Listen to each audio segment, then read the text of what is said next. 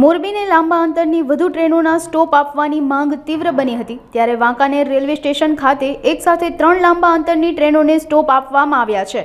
તેમજ રાજ્યસભાના સાંસદ કેસરી દેવસિંહ ઝાલા દ્વારા લીલી ઝંડી આપીને આ સુવિધાનો શુભારંભ કરવામાં આવ્યો હતો, જેમાં Porbandar, Santragachi Kaviguru superfast express, Okha Shalimar superfast express અને પોરબંદર શાલીમાર સુપરફાસ્ટ એક્સપ્રેસ વાંકાનેર સ્ટેશનેથી ઉપડશે.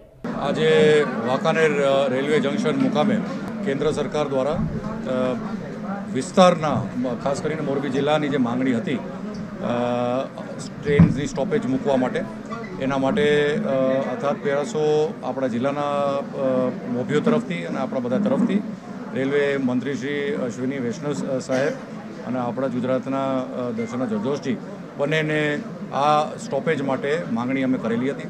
લગભગ સાત સાતેક સ્ટોપની માંગણી અમે મૂકવામાં આવી હતી, જેથી કરી અને નોખા વિસ્તારો અને નોખા ઝોન્સ કે જેથી કરીને આપણો જે જિલ્લો મોરબી જિલ્લો જે રહ્યો, મોરબી જિલ્લાના અંદર વાંકાનેર પ્રથમ રેલવે સ્ટેશન છે.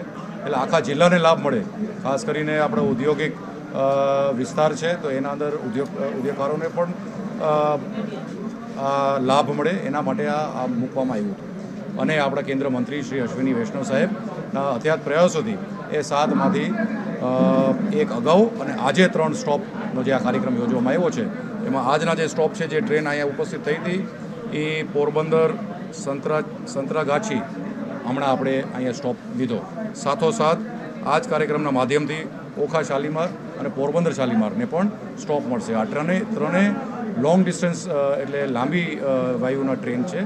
જેથી કરી અને આપણા વાંકાનેર વાસીઓ અને ખાસ કરીને આખા મોરબી જિલ્લાના વાસીઓને લાંબા ગાળાની કનેક્ટિવિટી આ ત્રણેય ટ્રેનના સ્ટોપથી આપણને પ્રાપ્ત થશે.